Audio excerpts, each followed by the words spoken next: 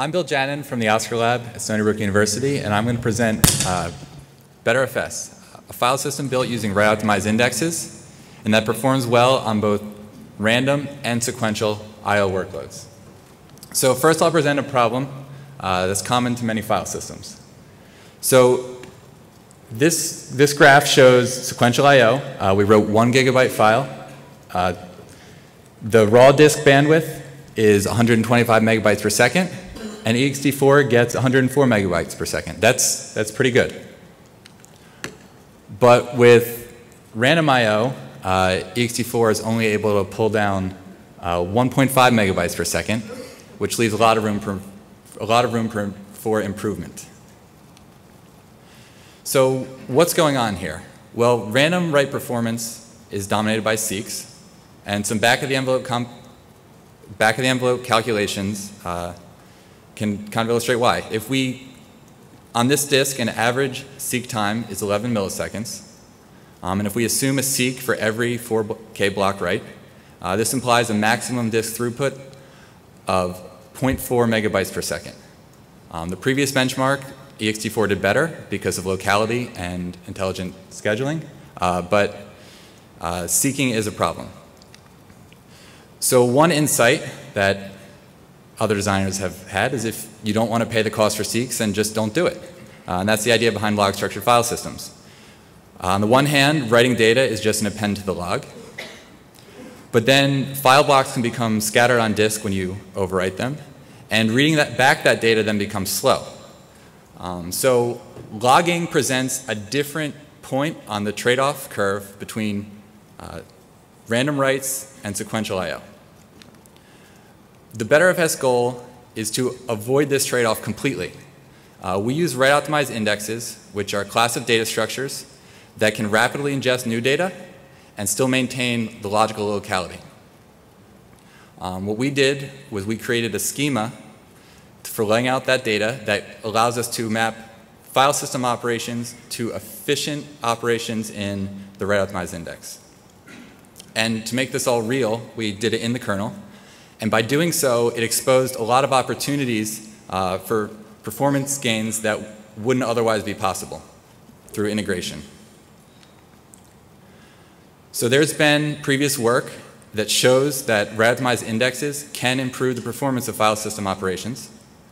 Um, the prior works have been in user space. Um, the BetrFS goal is to explore all the ways that write, optimization can be used in a file system. And that means exploring the impact of write optimization on the interaction with the rest of the system. So BetrFS uses b to the epsilon trees as its write optimized index. Uh, b to the epsilon trees are an asymptotically optimal key value store. And what that means is they asymptotically dominate log structured merge trees, which is the write optimized index that many people here are already familiar with. Um, in our implementation, we use fractal trees, which are an open source b the epsilon tree released by Tokutek. Um, I could go into a lot of detail on how B epsilon trees work, but for the purpose of this talk, we'll just consider them a black box that lets us do very fast insertions and fast point and range queries. Even if we treat B epsilon trees as a black box, we still have to understand how they work operationally. So B epsilon trees implement a dictionary on key value pairs. And what that means is we can get, put, and delete elements one at a time, or we can query over a range of values. Uh, BD epsilon trees also provide us a new operation uh, called an upsert, which is key to the performance in BetrFS. I'll get into more details on this later. But these are the operations we have to work with. And next I'm going to show you the performance of these operations so we can examine how they impact the design of BetrFS. So a really important property of B to the epsilon trees is that there is an asymmetry in the cost to perform a search versus an insert. Um, what that means is that queries, point and range, uh, have comparable performance to what we see in a B tree. So with caching, we can do a range query by paying the cost of about one seek, and then disk bandwidth to read the data back. Um, and what that amounts to is hundreds of seeks, uh, hundreds of random queries per second. On the other hand, we can do inserts extremely fast on the order of tens of thousands per second. So this asymmetry is really important, and we should use this knowledge and re-examine the way we think about building the system. Uh, to get the best performance, we want to do blind inserts whenever possible. So an insert without first reading the data. So the mechanism we use to do this is the upsert. Uh, an upsert is basically the combination of an update and an insert. With an upsert, you specify the key and then a function to apply to the value of that key in the database. Um, so this way it encodes a mutation. So you can do something like increment a reference count, or maybe modify a range of bytes in a string. So upserts are encoded as messages, and they're inserted into the tree, which means we can do many upserts per second, tens of thousands. Um, and upserts also let us defer the expensive cost of the read uh, and do it at, a future time.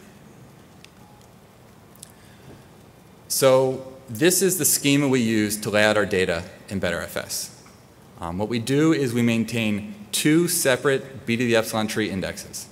The metadata index maps a full path to a struct stat. Um, the data index maps for each block a path concatenated with the block number to the data. So the implications of this are really important to understanding the performance. Uh, we can do fast directory scans because it's just a range query over our metadata index. And uh, disk blocks are laid out sequentially on disk. So that's our schema, and this is how we implement file system operations using the B epsilon tree primitives uh, on that data. So reads we can implement as a range query which is uh, efficient because of the locality full path keys provide us. Uh, writes can be an upsert, so we can perform blind writes if necessary. Um, metadata updates are just an upsert, so things like atime can actually uh, be done fast. Efficient directory scans can be done with a range query. Um, and then there's other operations. But a really uh, important trade-off that we make for using full path keys is that there are some operations that are tough to implement as just a single b to the epsilon tree operation, and that's where we really suffer. And I'll examine this trade-off more uh, in our performance section. So those are the operations, um, but by integrating the b to the epsilon tree in the kernel, we had other opportunities to explore the design and the interaction between the write-optimized index and the infrastructure of the Linux kernel. So um, one thing we did was we integrated BetrFS with the page cache um, and basically converted write back caching uh, to write through caching. Um, and the reason we did this is because a single byte update to a page in the cache turns into a full page write back, uh, which is, incurs write amplification. And uh, by using upserts, we're able to avoid this completely and just encode the data that's changed. So there are three cases I want to walk through to explain how this integration works. Um, we want to write, uh, write to the file foo.txt, and that page is not cached.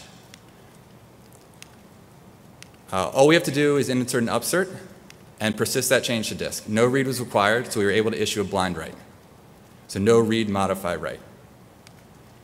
Um, if, however, our data is cached, uh, what we do is we see the page is there, we check if it's dirty, and since it's not, it's clean, we do an upsert to persist the change to disk, which is quick, and then we update the in-memory state of that page, and we don't have to mark it dirty, because all we've done is bring it up to date with the on-disk representation.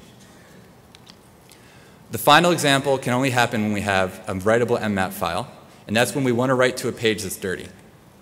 So if the page is cached and dirty, uh, we just treat it like a normal file system, uh, update the in-memory state, and rely on page write back to persist the change. In this case, we could do an efficient update with an upsert, uh, but that change would just be overwritten in the future with page write back, so we avoid that. So some takeaways. Uh, by rethinking the interaction between the page cache and the file system, we benefit more than if we just simply sped up the individual operations. So we can use upserts to make blind writes, And we can use upserts to do sub-block writes without the write amplification of full page writeback. So that was basically the schema and how we mapped VFS operations to be the epsilon tree operations. Um, and this is how the system looks overall. So uh, BetrFS is written as a kernel module and it's registered with the VFS like any other file system. Um, but we took the fractal tree implementation from TokuDB and we took what we needed and ported it into the kernel as a large binary blob. And one of our design goals going in was to change it as little as possible. And what that meant uh, is that we had to use another file system as our block allocation and manager. Um, and we use ext4, but there's no fundamental choice or fundamental reason that we couldn't use another file system. But e ext4 performed very well and uh, has not been a bottleneck. Okay, so when evaluating the system, we wanted to answer the following questions. Do we meet uh, our performance goals of speeding up small random writes? Uh, are we competitive for sequential I.O.? And are there real world applications that actually benefit from using our system? Uh, so to get this out of the way, our experimental setup, we used uh, just a simple desktop uh, spinning disk. Uh, we compared with Btrfs, ext4, XFS, and ZFS. Um, we use default settings for all the, the file systems. And uh, all the tests I'm going to show you are cold cache. And the error bars represent 95% confidence intervals. Okay, so this graph shows the performance of small random writes in our system. What we did is we wrote uh, a one gigabyte file with random data, and then we performed a thousand random four byte writes to that file, um, followed by a sync to make sure that all the, the writes actually made it to disk. Uh, so here the y-axis is time, so lower is better. And it's actually a log scale, uh, so keep that in mind. Um, we were able to finish this workload in 0.17 seconds compared to over 10 seconds for the other file systems. Um, so that's over an order of magnitude faster, and that, that's really significant. And we were able to get this performance because we were able to issue blind writes using upserts. Uh, this next workload shows a, the ability of BetrFS to create many small files uh, and write to them. So what we did is we created 3 million files, writing 200 bytes to each one, and we did it in a balanced directory tree with a fan out of 128 to avoid the pathological case of many files in a single directory. Um, so how to interpret this graph. The, the y-axis is the rate of creation of files per second, and any individual point is the cumulative throughput at that point in time. So after creating the 1 millionth file, that point represents BetrFS's uh, throughput uh, overall at that time. Okay, so one thing to know, again, it's log scale. So this shows the steady state performance of BetrFS is uh, order of magnitude better. So then we wanted to evaluate our performance on sequential I.O. Uh, we wrote a one gigabyte file with random data and then read that file back. So for sequential reads, we do well. Um, we still have some work to do. And for writes, we get less than half the bandwidth of other file systems. Uh, part of that reason is because we write all the data twice for full data journaling, but we write it at least twice, and there are some things we have to do to improve this. Um, we are, don't think that these are fundamental, uh, and we are in the ballpark, so uh, we're happy with this, but we've got a lot of work to do. Um, in the next two slides, uh, we'll examine the trade-off we made between using full path keys for all the blocks in our data store. So uh, this graph shows the time it takes to delete a file. Um, on the y-axis is time, so lower is better, and the x-axis is the size of the file. Um, you can see it's almost a perfectly linear relationship because as the file scales, we have to insert a delete for each block. Uh, the same is true for rename.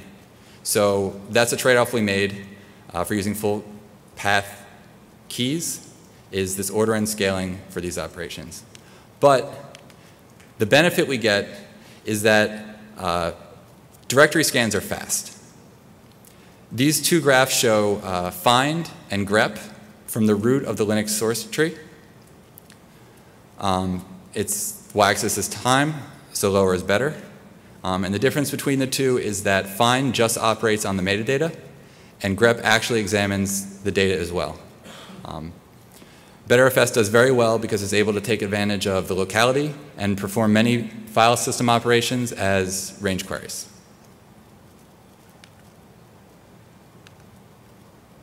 Uh, this next workload shows the Dovecot mail server uh, using the maildir uh, mail format. And the workload here is 50% uh, reads and 50% uh, marks or moves. So one thing to note about this workload is it's very sync heavy. Um, and since it's maildir, what this workload basically amounts to is a bunch of operations on small files. So BetrFS is able to achieve uh, good performance and uh, Dovecot realizes uh, gains by using us. Um, the final application I want to show is rsync. So what we did here is we uh, rsynced one directory on a file system to a brand new directory on the same file system. Um, if we didn't use the insync uh, flag, what rsync does is an lstat for each file that it's going to create, even though we know that it doesn't exist. By using the in-place flag, BetrFS is able to take advantage of upserts to implement blind writes, and it achieves very high throughput. So that's uh, the performance I'm going to show now. We have more exper experiments in the paper, but let's re-examine uh, the questions we set out to answer. Uh, so the question, do we meet performance goals for small random writes? Yes, we get over an order of magnitude uh, improvement on the, the benchmarks here. Uh, as far as competitive I.O., uh, we're kind of competitive. Uh, we have some work to do, but we're in the ballpark. And uh, there are definitely real world applications that benefit from BetrFS. Now, not all applications will benefit, obviously. Uh, those that do deletes or sequential I.O. might be a little slower, but definitely there's a class of applications that will see real gains. Okay, so that's BetrFS. Uh, we've shown that you can have your cake and eat it too. Um, there are files, we can design a file system that has good sequential and random I.O. performance. Um, we've examined what read-write asymmetry can mean, uh, and the, the performance of a write-optimized index requires revisiting many of the design decisions deeply embedded in file system design, uh, like do we want to use inodes, uh, the difference between write-through and write-back caching and those implica implications, um, and we really want to build our applications and design our systems so that we can take advantage of blind writes whenever possible. So our code is available on betrfs.org, and at this point I'd like to be happy to take your questions.